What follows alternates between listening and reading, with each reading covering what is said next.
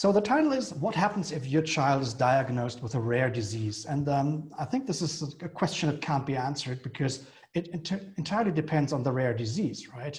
Um, rare diseases are very different, so um, hard to answer. So we need a showcase, and um, the example I would like to give is the Pura syndrome for reasons that have been mentioned already. We uh, ran into this disease and we're tightly connected with the uh, Syndrome Foundation since then.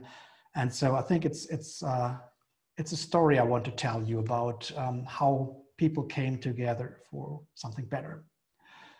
So what we'll be talking we'll be talking about today. Oh, mainly it's about Pura patients, Pura syndrome patients. That's the the topic. Uh, um, and I think before we go into this, we should clarify what actually a rare disease is, right? How is it defined and uh, what, what is the majority of causes uh, for these diseases. And secondly, well, what happens to families with rare disease diagnosis? Um, and this is something I, I can't really explain on, on my own experience, uh, but I will try to convey to you what uh, yeah, families have told me, you know, what, what the, the first reactions were and then how this evolved. And then, of course, there's the other side, um, us researchers. And um, I want to explain to you, well, how it felt from our side that we all of a sudden ran into such a rare disease and we were faced with lots of new questions. And then, of course, the, the most important question is, uh, well, you know, what happens? What are the opportunities and joint benefits for, for both sides if one uh, cooperates? So that's the agenda. Let's start with the first one. What is a rare disease? Well, it certainly sounds like something you're not affected, right? Um, at least for the ones that don't know somebody seems to be far away. Um, and actually, when we look at the definition of a rare disease, I think that makes sense. Um, the EU definition is um, it should affect less than one in 2,000 people. And um, the US definition is much stricter, actually. It's one in 200,000 people. So, um, well, that sounds far away. On the other hand, yeah, and, and that's a, a graphical representation of what I just told you. If you have like 2000 squares, a, single square would be the person with a rare disease. So it's really rare. On the other hand, um, there's not just one rare disease, right? There's several of them. Um, and people estimate that there are at least eight to 10,000 different rare diseases. And that sums up to three to 400 million patients worldwide. That sounds a bit more, right? So that means actually one in 20 people is affected by a rare disease. And that means rare diseases are common. They're not you know, rare, but they're very common. It's just they're subdivided into several uh, different uh, rare diseases.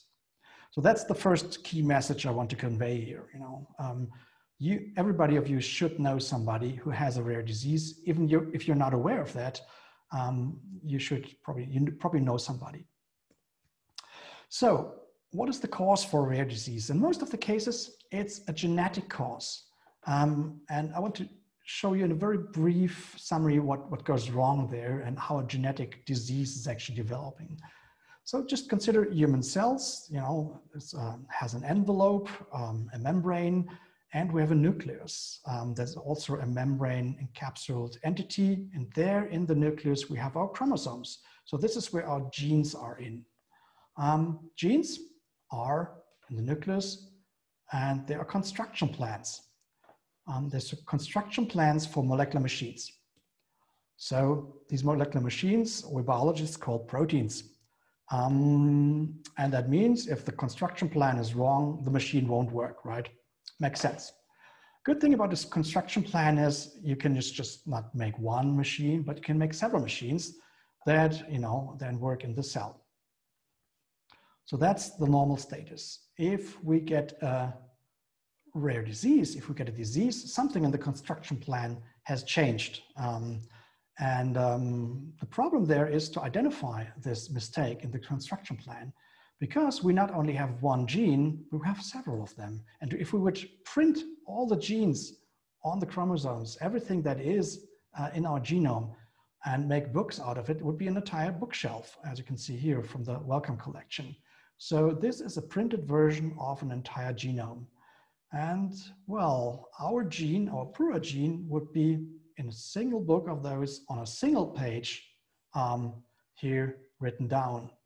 And mistake, a mutation that causes the disease can be as little as a change in a single letter of uh, this gene. So I think it becomes quite easy, uh, comprehensible why it's so difficult to identify rare diseases. Um, we got much better with sequencing and so on, and uh, there are automated algorithms who can really identify those things. Um, but the initial discovery that a certain gene is responsible for a certain gene is, is really uh, difficult. And uh, so it took also a while for Pura until we, we made the connection, right?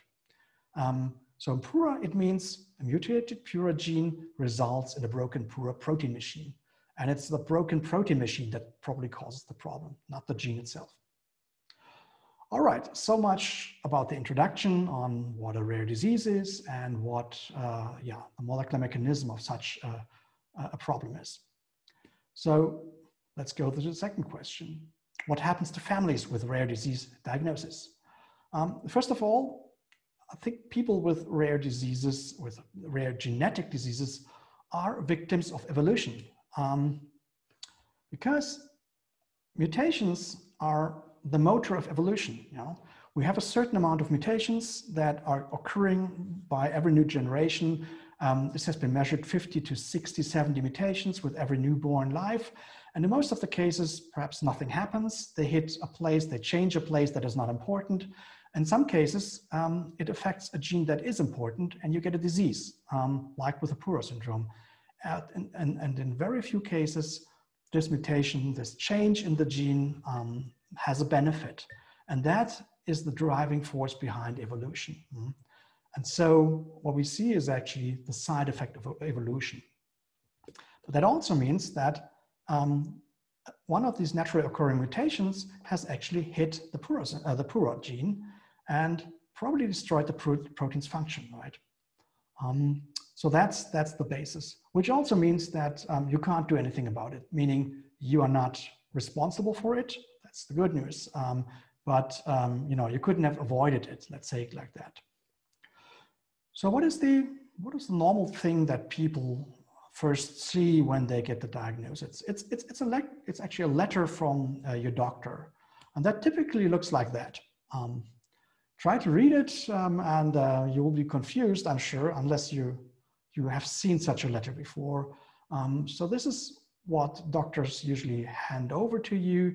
And if you have a good doctor, a, a caring doctor, will try to explain to you uh, what that means and try to help you to, to put that into perspective. But it often also happens that, you know, you just get this letter and are told, well, there's nothing you can do. Um, goodbye. That's, that's the worst of the possible cases.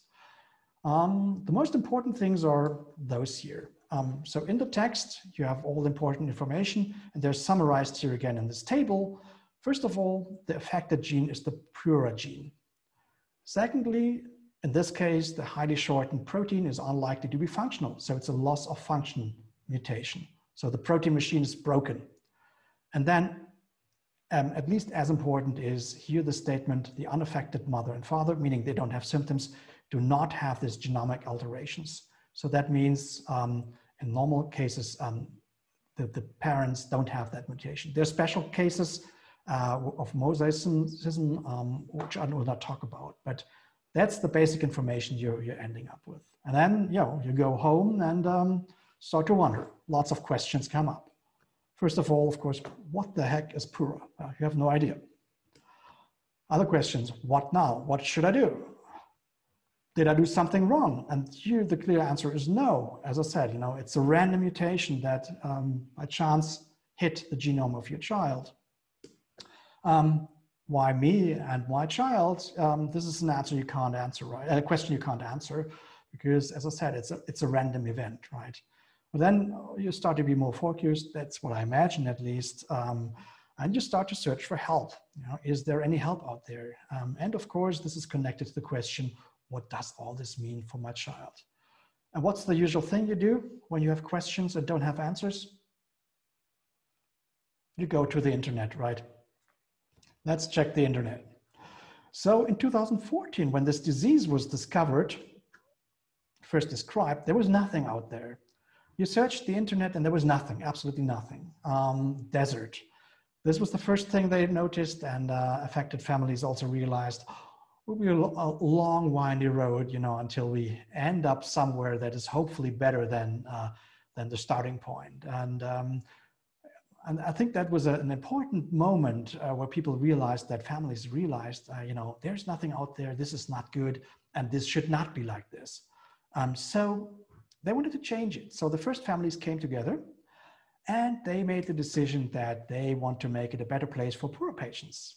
And um, as you see, um, there's lots of energy in there. And this is actually what I experienced when I first met Pura families. Um, so much energy, so much power, so much uh, curiosity um, and, and drive to, to change things. And that's actually a, a, major part of a major part of what I want to convey to you. Um, these families are really exciting, um, in particular for scientists uh, who all of a sudden realize, wow, this is the other side. I think this is a good moment to drink some beer, right? So cheers to everybody, or alcohol-free beer. Okay, so the outcome. The outcome is a foundation. That's what they ended up with. Um, it's called Pura Syndrome Foundation. Makes sense, right? It was officially established in 2016. And you have to imagine that in 2014, these families were first informed that, you know, their child has Pura syndrome. Nothing out there, nothing known, and they came together. And in 2016, they had all the paperwork together to be established as a nonprofit organization. And amongst the goals they had was, um, of course, first of all, connect affected families. You know, um, meet other families, talk, exchange, find out how other families are doing, what their problems are. Is it the same? Is it different? And so on.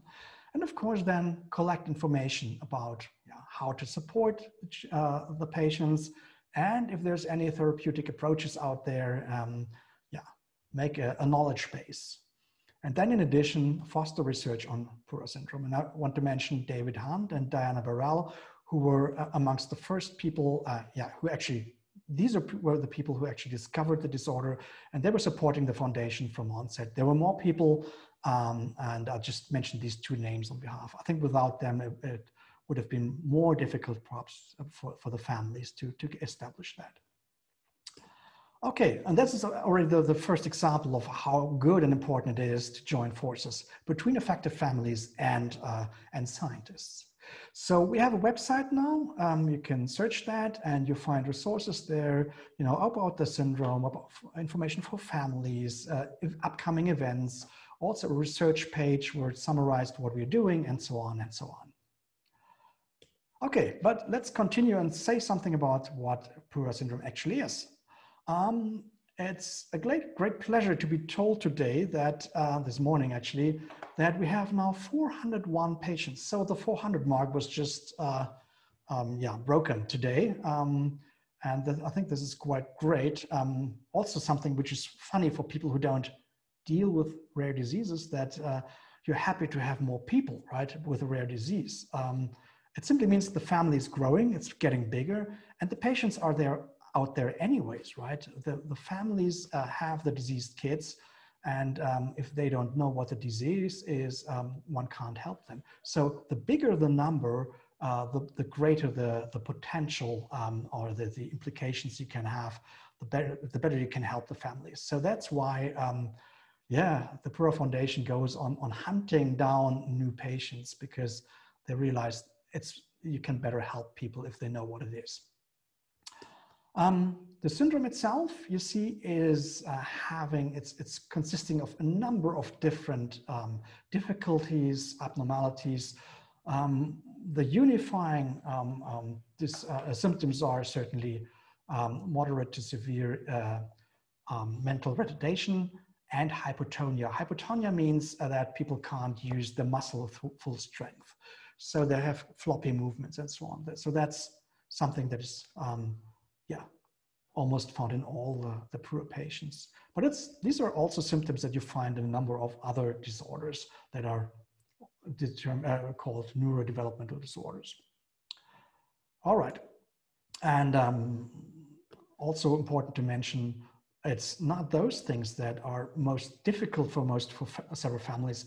It's the epileptic seizures. Um, that actually is, is, is over and over again as stated as, as the most difficult uh, thing for families because uh, this really hurts the kids and, uh, and there's no, no good way of, way of treating them, uh, treating it. And that's certainly something uh, research is aiming at. Okay, so this was the family side. Now we come to the researchers, which includes myself. So now I can talk about myself. Um, so it was a while ago um, when I was working on Pura protein and, you know, we're doing, we're doing basic research. There was a mouse model available, but um, there was nothing known about families with uh, this disorder. And so, you know, I was in the lab, had uh, my first bottle of uh, sparkling wine already uh, uh, Intus and was waiting for the second one to open um, and was thinking about the next great experiment when an email hit me. Um, this was an email by David Hunt, one of the, uh, he was the first author, author of one of the two papers that initially described the Pura syndrome. And uh, I just tried to recapitulate what he was writing. Um, and so he said, dear Dr. Dierk, uh, Dr. Niessing, UK-based uh, geneticist working on Pura patients, you know, a group of families affected by Pura syndrome are organizing a conference in London. I said, oh, interesting. Um, would like to invite you. Okay. Have no funding. Okay. But we would be grateful if you decide to join us anyways. Um, and this was kind of, uh, yeah, an exciting moment. Um, and so I got nervous, quite nervous because you ask why? Because I'm not a medical doctor, right? So I'm not professionally trained to see patients, right? So I didn't know what to expect. And what I thought what I would be facing uh, was that, you know, there's a, this might be a sad event because they're all the families that uh, have children with affected, uh, uh yeah, with, with ch children with, uh, with, a severe disorder. And uh, so I wasn't really sure um, what, what that would be, but I felt that, you know, I should go there, I have to go there. And of course, as a scientist, I was also curious. And so I went to London to the conference and made some interesting observations. So first of all, surprisingly, it was a party. People were so happy there. They were so so cheerful. Um, I was not sure if I was in the right place in the beginning, you know, um, uh, until somebody uh, pulled me aside and said, "Well, are you the missing doctor?" I said, "Probably yes." and so uh, we got into contact, and uh, yeah, I really enjoyed being there. What I also observed there is um, that, yeah, one of the main reasons was that families were really happy to meet other affected families. You could exchange, you know, you could see what, uh, what their issues are. You could talk about uh, what, what, what did you do to, to prevent this, to, to uh, overcome this and that problem and so on. Second thing was, um, you know, they were actually happy to finally know the cause of the disorder. And I will have to talk about that in a second. And course, they also had to acknowledge that this is not a disease that can be treated really, um, at least not the cause of the uh, disorder. Symptoms, of course, to some extent, but not the, uh, the cause, at least not at this point. You know, with gene therapy at the horizon, who knows what, what will come up in the next couple of years, but for now, this is not possible. Um, and so this is something, this is an aspect I, I would like to point out a little bit more because this is actually something that, that took me a while to understand. Um, just imagine you have a newborn child and you don't get a correct um, um, diagnosis. So some you know, doctor says it's this disease, then you go to the next one, tells you it's another disorder, um, and everybody has a different opinion. Um, and so what happens is that you go to doctor to, from doctor to doctor and what I call the di diagnostic burden gets bigger and bigger. So you're testing, testing, testing, testing, always thinking that if I don't do enough testing and um, I'm not continuing to search, you know, um, there's perhaps the one thing that the easy solution that would help my child and I would miss out on it. Um, so this puts a lot of pressure on these families. And the longer it takes, you know, the heavier this diagnostic burden is. And actually, in average, it takes about, uh, let's say, uh, uh, five to eight years, this is at least what literature says, until a rare disease gets diagnosed. But if, you know, if there is no, no known cause for, for this disease, before Pura syndrome, for instance, had been described, there was no chance, no possibility to make a final di diagnosis. And so these people, many of these people had years of, uh, yeah, um, diagnostic marathons behind them, and they were really happy that they finally knew what was going on, right? So this way, it really makes sense. All right, so this brings me to, why is it not moving? Yep, why, uh, to the next, to the last point, which is the opportunities and joint benefits for both sides, patients and researchers. And I was looking on the internet and uh, collecting pictures and uh, put them, was putting them all on onto one slide just to, as a dummy slide and realized then one, once I had all the pictures there that this actually describes well the, the initial benefit quite well. When you look at that, it looks really happy, yeah? Um, and uh, that's actually what it is. Um, so you have all the kids, you have a meeting here, Cambridge 2018, we had one in Boston 2019. Um, you see here the research together with uh, uh, the board member John Erickson here. Um, so it's every time it's really, really nice, very enjoyable uh, to meet these families, to interact with them, and it's a mutual thing. So I think um, on a personal side, it's it's really, really rewarding. So that's the first thing. Um, then on on a, from a more professional perspective, uh, we came together as scientists to build up a research network.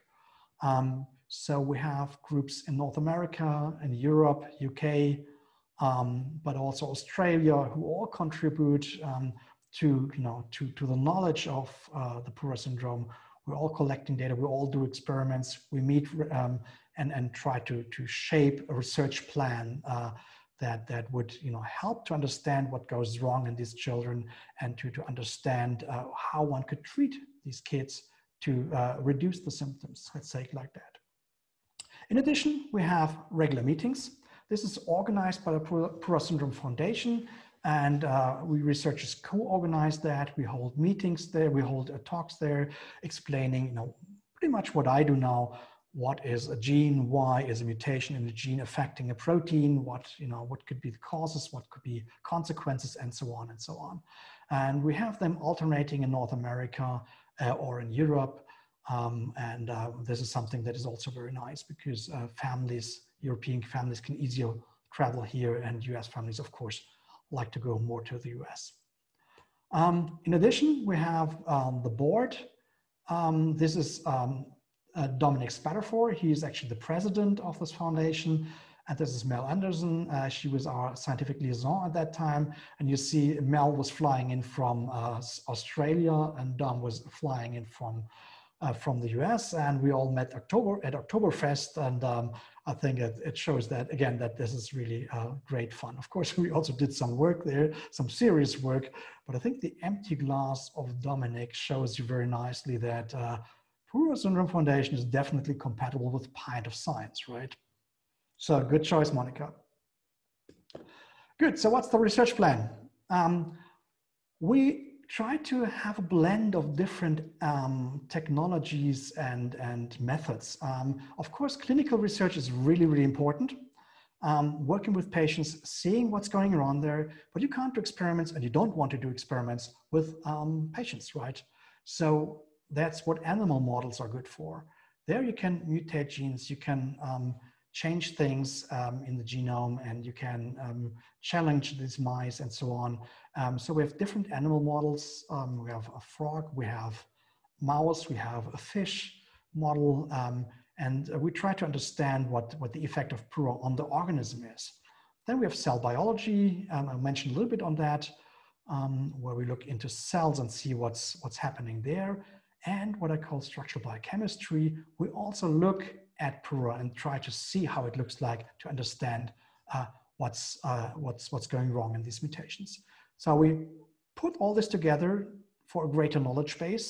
It's all put together into the Pura network and we have established, and it's again uh, the work from uh, Diana uh, in the UK, um, have established a patient registry where all patient information are systematically put together. So, you know, it's not uh, um, sharing stories in individual cases, but you can really make statistics on what works with families, what does not work, um, what is the, you know, what which treatment treatment works, which not. And there's a biobank being established in Munich. And the idea is that we will understand how Pura works and means we have a mechanistic understanding and then we can approach therapy. So in other words, the logic is if we understand why patients develop symptoms, uh, efficient therapies can be developed. That's our hope, that's our mission statement. In addition, I want to reiterate that um, gene replacement therapy or gene therapy is currently out of reach. I mean, this is something we we have in the discussions when we uh, meet with families, and you know, this is something that goes through media and is being highly promoted. Um, but there are a number of, of severe hurdles um, for Pura. Uh, we can talk about that later. Um, that prevents at this point uh, that uh, gene therapy should be should be applied. Yeah. Okay, and before coming to the end, I uh, just want to briefly mention two examples from our research. Um, first one is uh, that we want to understand Pura, function of Pura by observing how it works at atomic scale. This means we really look at the molecule, at the molecular machine. And the idea is if you see how a molecular machine works, then you understand what happens if it breaks, right? And so we use so-called X-ray crystallography to see the protein, and it's a kind of a, like a microscope. Um, it's called synchrotron, a big machine, as you can see, where we go there and measure our data. And the outcome is something like that. So that's a structure you see here in, in, uh, in blue, the natural protein that is not affected. And you see in, uh, in black and in purple, um, a protein that has a Pura mutation. And you can see that, for instance, this part here uh, has shifted from here to here. So it's, uh, yeah, it's this arrangement you can see here. So we understand what, what's going on wrong there, you know. Um, we can see why the protein doesn't function anymore. So that's the first one. And the second um, thing I want to share with you is, uh, and it's on the other end of the scale, let's say uh, like that, is that we want to use induced, or we are using induced pluripotent stem cells, so-called iPS cells, to understand what function Pura has in cells. And uh, the way this works is you have a Pura syndrome patient, you do a little sk a skin biopsy. This means a little skin punch of three to four millimeters, and from which you can grow skin cells. And then you can convince these skin cells to forget what they were and make them naive again um, oh, and I should mention that these is important. These are not embryonic stem cells. Uh, let's see if I get that again. Yeah. Um, these are really skin cells. So we can't make an embryo out of that. So this is ethically, uh, you know, not a difficult thing to work with. Um, so we can use these skin cells and we can convince them to become stem cells again, meaning naive, they forget who they were, and you can convince them to become other types of cells, different obtain different cell sulfates. So neural cells, you can make muscle cells out of them, you can even make uh, bone cells out of them. And the idea is that we take these cells, uh, grow them, have them differentiate, and then we compare patient cells with healthy cells. And the differences between both will tell us about you know, which cellular functions are not okay and which molecular pathways are affected. And this is something we really need to understand uh, when, we want, when we think about therapies. All right, so with this, I'm, I'm done. Actually, um, I just want to mention again uh, that you, the Pura family really has uh, conquered the lab. Um, um, everybody is somehow involved, even if they have projects that are unrelated. Monica, for instance, is not working on Pura, but for some reason still thought that I should be talking about it. We have people working on other projects who make, who translated flyers into different uh, languages and so on. So everybody is helping. And I think this, this nicely shows the great impact uh, the, the Pura Foundation and the families have on us as researchers. And so we're really grateful for that interaction, for this being together and, and for this uh, journey we have started together. If you have questions, further uh, questions, want to support, want to donate, whatever, um, you find more information on this website. With this, I'm done. I hope you uh, got something out of this and enjoyed the talk. Um, and I'm happy to take questions. Thank you very much.